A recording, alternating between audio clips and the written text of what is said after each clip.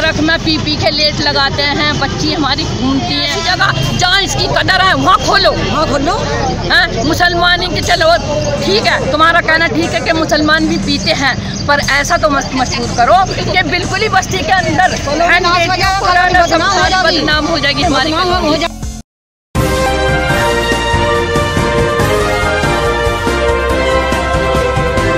पलपल news के news room से मैं हूँ आपके साथ नदीम अकरम। अंधेर नगरी, चौपट राजा टका सिर खाजा टका सिर भाजा। ये कहावत तो आप लोगों ने सुनी ही होगी।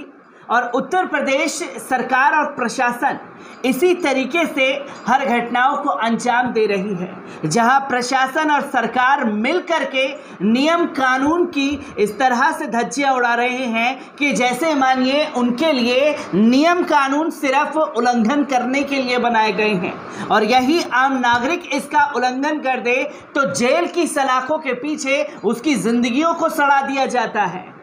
कुछ ऐसी ही तस्वीरें उत्तर प्रदेश के मुरादनगर से सामने आ रही हैं, जहाँ पर स्कूल के गेट के सामने ही शराब का ठेका खोल दिया गया है। और वहीं 100 मीटर दायरे की अगर बात की जाए तो वहीं अंबेडकर पार्क भी है, जहाँ मूर्ति लगी हुई है अंबेडकर जी की तो वहीं मस्जिद मदरसा भी है, और इन सबको देखते हुए वहाँ शराब का ठेका खोला गया है, जिसको लेकर के वहाँ के स्थानीय लोगों में भारी रोष है, और जम करके इसका विरोध भी किया गया है, और इसी चीज़ को लेकर के उन लोगों ने प्रशासन को ज्ञापन भी सौंपा है। पूरा मामला क्या है? पहले उस वीडियो पर नज़र डाल लीजिए। आप लोग यहाँ क्यों इकट्ठा हुए हैं?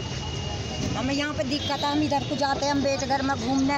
इसकी दिक्कत है कि यहाँ शराब पी कर बदतमीजी करेंगे लोग तो इस वजह से हमें है। स्कूल भी है फिर पीछे बस्ती भी रहत भी है बच्चियों की। अच्छा ये ये शराब का ठेका खुल रहा है इससे आपको परेशानी है? परेशानी है। और पीछे राहत भी है रहने की भी है बच्ची आती हैं जाती हैं हमारी बच्ची ससुराल भी पी हर भी जाते हैं इसी रास्ते से गुजरती हैं सारी की सारी। और यहाँ पी के बदतमीजी होती है। सामने पार्क है। तक गए वहाँ तक पार्क में हाँ पार्क में पी पी के लेट लगाते हैं बच्ची हमारी घूमती हैं। आगे आगे हमारे रमज़ान आ रहे हैं। हम किस तरह से निकलेंगे किस तरह से करेंगे हम? ये बताइए आप। अच्छा, ये बता रहे हैं कि सामने स्कूल है कि स्कूल के स्कूल की बच्चे यहाँ से इस रास्ते से निकलते हैं। और लेडीज़ पुछाने जाती है उनकी माएँ पूछाने जाती है उनकी बहनें पूछाने जाती हैं। बताओ किस तरह से गुजरेंगी वो? तो आप इस ठेके को जो है यहाँ खुल, खुलने नहीं देंगे? हाँ नहीं खुलने नहीं देंगे। हाँ। आप ही बताइए इस बात को ये बात आपको अच्छी लग रही है क्या बुरी लग रही है ये बात? तुम बता दो हाँ हाँ? लगेगी ये ये बस्ती के अंदर राहत के अंदर खुलना ज़रूरी है ये क्या नहीं है ज़रूरी? पहले आप इस बात को बताइए। कल वहाँ तक शराब पी भी का बढ़ेगा। हाँ? बिल्कुल सही बात है आपकी लो सही बात बताओ। ये रात रहने का शराब का है कदर है वहाँ खोलो। वहाँ खोलो? हाँ मुसलमान के चलो ठीक है तुम्हारा कहना ठीक है कि मुसलमान भी पीते हैं पर ऐसा तो मस्त मशहूर करो कि बिल्कुल ही बस्ती के अंदर हो। बदनाम हो जाएगी हमारी हो जाएगी कॉलोनी। ये पार्क में तो सर समाज की बहन बेटियाँ आती हैं इसमें इसमें कोई ये नहीं है कि एक, एक हाँ। समुदाय के लोग आते हाँ। हैं हिंदू मुस्लिम सभी आती हैं। और ये पार्क काय के नहीं बना है? रास्ता। हाँ। और कहीं रास्ता भी नहीं हाँ। रास्ता। देखो बोतल पी पी के यहाँ फेंक रखी है बाहर हाँ, देखो। हटा दे हटा बच्चों को।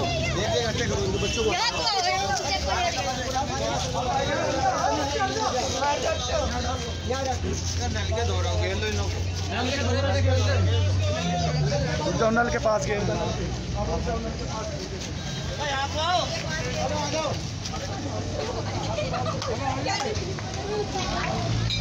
ये देखिए इन लोगों का ज़बरदस्त विरोध कर रहे हैं इस ठेके का। ये इनका कहना है कि शराब की बोतलें जो हैं ये लोग यहाँ पीकर गली में गिरते हैं और पार्क में जो है शराब पीकर लेटते हैं।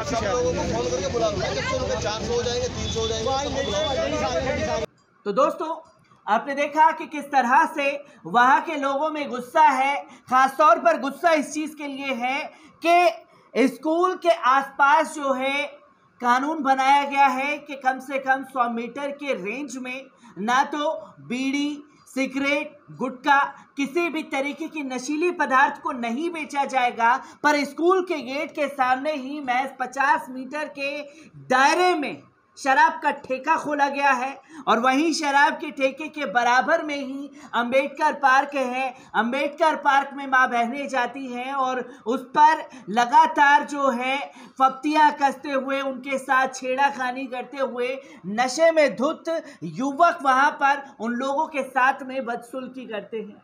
इस घटना को लेकर के एडवोकेट इमरान ने पूरी तरीके से मोर्चा खोला हुआ है। एडवोकेट इमरान का इस पूरे मसले पर क्या कुछ कहना है? एक बार इस पर नज़र डालते हैं। किस तरीके से इस मुद्दे को आप उठा रहे हैं इमरान और क्या देख रहे हैं सरकार और प्रशासन की जो इसमें एक बड़ी लापरवाही सामने आ रही है? नदीम भाई हमारे यहाँ मेन रोड पे जहाँ अंबेडकर पार्क जस्ट बिल्कुल बराबर में है एक ठेका खोला गया था। जिस पे वहाँ की आवाम ने काफ़ी ऑब्जेक्शन किया था और हमने कहा था उनसे कि भाई ये ठेका यहाँ अनऑथराइज तरीके से खोल दिया गया है, इसको यहाँ से कहीं ट्रांसफ़र कर दिया जाए। उसके लिए पब्लिक ने काफ़ी हंगामा भी किया है, भीड़ भी इकट्ठा हुई है, हम लोग एसडीएम साहब से भी जाके मिले हैं। बिल्कुल उसके सामने, ठेके के सामने एक एमपीएस पब्लिक स्कूल पढ़ता है, जो वहाँ अधिकारी, आबकारी विभाग की टीम आई थी। उन्होंने हमसे कहा था कि ये कितनी दूरी पे है? उनको हमने नापा, नापने के बाद वो लगभग 50 मीटर की दूरी पे है। जब कानून ये कहता है कि 100 मीटर के दायरे में जहाँ स्कूल है या पार्क है, वहाँ शराब का ठेका नहीं खुलेगा। लेकिन ये इनकी गुंडागर्दी देखिए, अभी तक चार महीने, तीन महीने लगभग हो चुके हैं। 9 अप्रैल को हमने ये ज्ञापन एसडीएम साहब को दिया था। मैं डीएम साहब से भी शिकायत कर चुका हूँ। आबकारी विभाग की टीम भी वहाँ आ चुकी है, लेकिन आज तक कोई कार्रवाई नहीं हुई है। इन लोगों का कहना है कि हमने सरकार को रिश्वत दे रखी है, पैसा दे रखा है, और बीजेपी की सरकार आँख बंद करके इनसे पैसे की उगाही करा रही है। कोई कार्रवाई अभी तक इस काम में नहीं की गई है। किस तरीके का आश्वासन जो है आपको प्रशासन की तरफ़ से मिला है? आश्वासन आश्वासन तो देने का इनका काम ही है। अभी हम लोग जब वहाँ टीम आई हमने पूछा भाई अभी तक इसमें कार्रवाई आप लोगों ने क्यों नहीं की है? तो के जी साहब इसमें जाँच कर रहे हैं। किस चीज़ की जाँच कर रहे हैं हमने कहा भाई पचास मीटर के दायरे में स्कूल है। बीस मीटर के दायरे में अंबेडकर पार्क है। जहाँ बहन बेटियाँ स्कूल सुबह जाती हैं, छोटी छोटी बच्चियाँ जो वहाँ से निकलती हैं, वो शराब पी के बदतमीजी करते हैं लड़के वहाँ। शराब की बोतलें पड़ी हैं यहाँ रास्ते के अंदर। अंबेडकर पार्क में जो हमारे बाबा साहब की मूर्ति लगी है, वहाँ वो ऊपर चढ़ जाते हैं, वहाँ शराब की बोतल लेकर फोटोग्राफी करते हैं। तो ना पुलिस इसमें कोई कार्रवाई कर रही है, ना प्रशासन इसमें कोई कार्रवाई कर रहा है, ना एसडीएम साहब ने कोई कार्रवाई की, ना आबकारी विभाग ने कोई कार्रवाई की। तो अब हम लोग परेशान है कि शायद कोई ऐसा बड़ा हादसा, बड़ा आंदोलन यहाँ हो सकता है, इसीलिए प्रशासन आँख बंद करके बैठा हुआ है। तो दोस्तों, आपने देखा कि किस तरीके से खासतौर पर उत्तर प्रदेश के मुरादनगर में स्कूल के गेट के सामने, यानी कि 50 मीटर की रेंज में ही शराब का ठेका खुलने से भारी बवाल है। लगातार प्रशासन का विरोध वहाँ हो रहा है। सारी चीज़ें नाप करके वहाँ के स्थानीय लोगों ने बता दिया, पर प्रशासन के कान पर जू नहीं रेंग रही है। और यही एडवोकेट इमरान ने भी सवाल खड़े कर दिए हैं कि क्या किसी घटना के घटने का इंतज़ार कर रहा है प्रशासन, जिसके बाद उनकी आँख खुलेगी और वो उसके ऊपर कार्रवाई करेंगे। पर सबसे बड़ा सवाल ये भी खड़ा होता है कि अंधेर नगरी चौपट राज्य में किस तरीके से सरकार और प्रशासन द्वारा शराब माफियाओं को धड़ल्ले से लाइसेंस बांटा जा रहा है और वो कहीं भी शराब का ठेका खोल रहे हैं, जिसके आने वाले समय के अंजाम को भी नहीं देखा जा रहा। शराब के ठेके का विरोध मुरादनगर की जनता खुल करके कर रही है और अब प्रशासन किस तरीके से इसके ऊपर एक्शन लेगा, ये भी देखने वाली बात होगी। क्योंकि नियम कानून की धज्जियाँ प्रशासन और शराब माफियाओं द्वारा उड़ाई जा रही हैं तो अब जनता और प्रशासन आमने सामने हैं। कौन कितने बड़े तरीके से इस घटना को अपने हक में हासिल करेगा, ये भी देखने वाली बात होगी। मैं ऐसे ही खबरों से आपको रूबरू कराता रहूँगा। दीजिए इजाज़त। शुक्रिया।